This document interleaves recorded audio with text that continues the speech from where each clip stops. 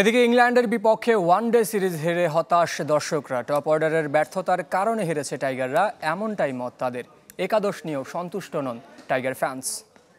দুশো সত্তর হলে বাংলাদেশ মোটামুটি একটা ভালো খেলতে পারতো, আবার প্রথম টপ অর্ডার বাংলাদেশ ওপেনিংয়ের কারণে বেশি পিছনে পড়ে গেছে। লিটন তামিমের ওপেনিং জুটিটা যদি লম্বা হইতো তাইলে বাংলাদেশের ম্যাচটা আরও ভালো পর্যায়ে থাকতো। ম্যাচটা আসলে শুরু থেকে আমাদের ছন্দপতন হয়েছে। এখানে আমাদের প্রথম উইকেটটা লিটন দাস আউট হওয়ার পরেই আমাদের ব্যাকফুটে চলে এসেছে।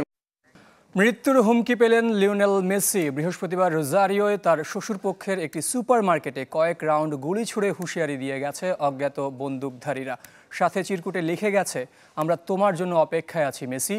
এরই মধ্যে ঘটনা তদন্ত শুরু করেছে আইন শৃঙ্খলা বাহিনী। ধারণা করা হচ্ছে, প্রাধান্য বিস্তারকে কেন্দ্র করে এই হামলা চালিয়েছে স্থানীয় কোনো মাফিয়া গ্যাং। বিশ্বের বেশিরভাগ মানুষের কাছে প্রাণের চেয়েও প্রিয় হতে পারেন লিওনেল মেসি, কিন্তু কারও কারও কাছে তিনি শত্রুও। নয়তো কেন আর্জেন্টিনাকে ছত্রিশ বছর পর বিশ্বকাপ এনে দিয়েও নিজ দেশে মৃত্যু হুমকি পাবেন চ্যাম্পিয়ন অধিনায়ক। বৃহস্পতিবার তার জন্মভূমি রোজারিওতে ঘটেছে বিস্ময়কর ঘটনা। মেসির শ্বশুরপক্ষের একটি সুপারমার্কেটে এসে তাকে হত্যার হুমকি দিয়ে গেছে অজ্ঞাত সন্ত্রাসীরা। পুলিশের ভাষ্য মতে, সকালের দিকে একটি মোটরসাইকেলে করে সুপারমার্কেটে আসেন দুজন বন্দুকধারী। এরপর চোদ্দ রাউন্ড গুলি ছুড়ে পালিয়ে যান তারা। তবে রেখে যান চিরকুট, যেখানে লিখা, মেসি, আমরা তোমার জন্য অপেক্ষায় আছি। জ্যাফকিনো একজন মাদক কারবারি, সুতরাং সেও তোমাকে বাঁচাতে পারবে না। এরই মধ্যে ঘটনা তদন্তে নেমেছে রোজারিওর পুলিশ। খতিয়ে দেখা হয়েছে সিসিটিভি ফুটেজ। বিষয়টি আমলে নিয়েছে আর্জেন্টিনা সরকারও। ধারণা করা হচ্ছে, মাদক কারবারি ও সন্ত্রাসী দমনে সম্প্রতি সরকারকে কঠোর হতে রোজারিওর মেয়র জ্যাভকিনের বক্তব্যের জেরে এ হামলা হতে পারে। ঘটনার পরপরই টুইট করেছেন কট্টর বামপন্থী রাজনীতিবিদ জ্যাভকিন। বুয়েন্স আইরেস থেকে মাত্র তিনশো কিলোমিটার দূরে রোজারিও। এটা খুব কাছেই। আমরা চাই সরকার আমাদের নিরাপত্তা দিক। এই শহরকে সন্ত্রাসীদের হাত থেকে রক্ষা করতে আমরা সমস্ত হাতিয়ার চাই। ঘনবসতিপূর্ণ রোজারিওয় সন্ত্রাসী হামলা নতুন কিছু নয়। মাদক ও মাফিয়াদের স্বর্গরাজ্য হিসেবে বেশ কুখ্যাতি আছে শহরটির, যা দমনে বরাবরই সোচ্চার মেয়র জ্যাফকিন। বৃহস্পতিবারের ঘটনার পর আর্জেন্টিনা জুড়ে চলছে আলোচনা সমালোচনা। তবে নিশ্চুপ Lionel Messi. ধাঁধায় বিশেষজ্ঞরাও।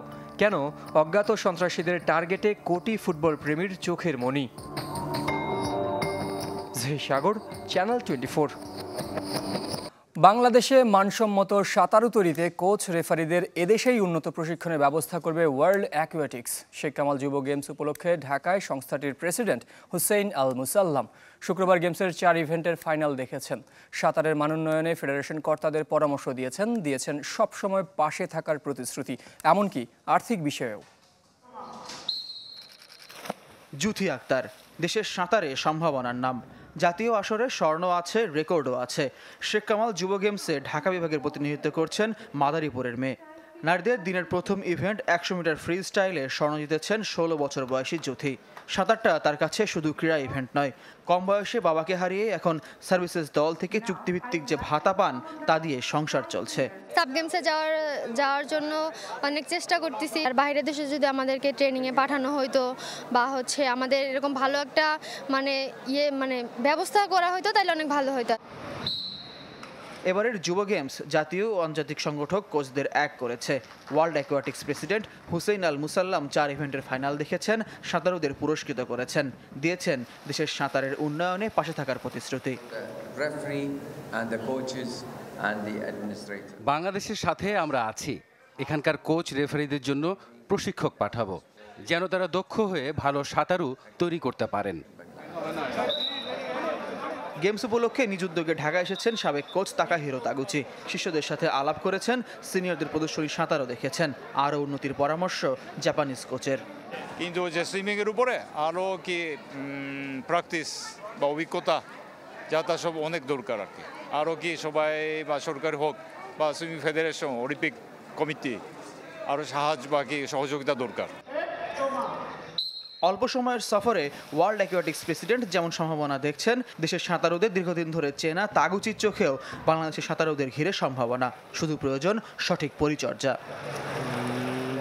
Faizul Islam, channel twenty Dhaka. আর্জেন্টিনার পররাষ্ট্র মন্ত্রণালয়ের ডাক পেয়ে ঢাকায় ফেনীর আর্জেন্টিনা ভক্ত আব্দুল মতিন। পররাষ্ট্রমন্ত্রী সান্তিয়াগো আন্দ্রেস ক্যাফিয়েরোর অনুষ্ঠানে যোগদান করলেও সরাসরি কিছু দাবি করেননি।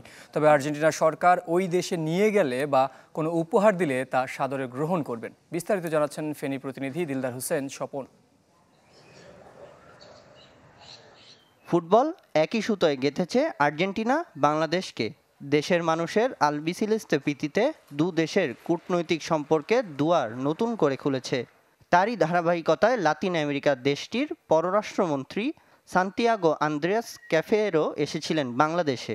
পররাষ্ট্র মন্ত্রণালয়ের মাধ্যমে ডেকে পাঠিয়েছিলেন ফেনীর আর্জেন্টিনার সুপার ফ্যান আব্দুল মতিনকে। আত্মীয় স্বজনের থেকে দশ হাজার টাকা ধার করে ঢাকায় আসেন। সেখানে আর্জেন্টিনা জার্সি ও দেশটির মিষ্টি উপহার পান। তার কোনো চাওয়া পাওয়া আছে কিনা তা জানতে চেয়েছিল আর্জেন্টিনার কর্মকর্তারা। তবে আর্থিক অনটন থাকলেও দেশের মান সম্মানের কথা চিন্তা করে কোনো আর্থিক সহযোগিতা চাননি তিনি। আর্জেন্টিনার পররাষ্ট্রমন্ত্রী সরকার অনেক লোক আসে বাংলাদেশের পররাষ্ট্রমন্ত্রী অনেক লোক ছিল। তো আমি ওই অনুষ্ঠানে যদি আমি কিছু শেখাম যাই আমি বিদেশের মাটিতে আমা- আমার দেশকে ছোট করা হবে। দুই হাত ও দুই পা হারিয়ে ফেনীর আব্দুল মতিন এলাকাবাসী ও স্বজনদের সহযোগিতায় কোনো মতে দিনাতিপাত করছেন।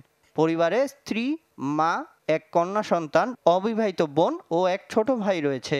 পঁচাত্তর হাজার টাকা মূল্যের একটি আধুনিক হুইল চেয়ার কিনে দিয়েছে এলাকাবাসী। বাংলাদেশের সরকারের বিদেশের সরকারের যদি আপনারা সংগ্রহ করে দেন এর বাচ্চা কাচ্চা লই সেই দুনিয়াতুন খাই হিন্দি যেন দুনিয়াতু যাইতে পারে। মতিনের লাগে আমরা একটা সহযোগিতা চাইছি। যেহেতু সে আর্জেন্টিনাকে ভালোবেসে তার ক্ষতি হয়েছে তার প্রতি একটু ভালো দৃষ্টি দিতে। জানা যায় দুই বিশ্বকাপের আগে আর্জেন্টিনার পতাকা টানাতে গিয়ে বিদ্যুৎ স্পৃষ্ট হয়ে হাত পা হারান মতিন। তবে মনোবল হারায়নি সেই দলটির প্রতি। তাকে ও তার পরিবারকে সহযোগিতার হাত বাড়িয়ে দিবেন সরকার ও কোটি কোটি আর্জেন্টিনা ভক্তরা প্রত্যাশা এলাকাবাসীর। ডেস্ক রিপোর্ট, চ্যানেল টোয়েন্টি শেষ করবে স্পোর্টস টোয়েন্টি ফোর খেলা সব আপডেট ও রিপোর্টগুলো দেখতে ভিজিট করুন Facebook dot com slash sports twenty four team এই পেজে ধন্যবাদ সঙ্গে থাকার জন্য।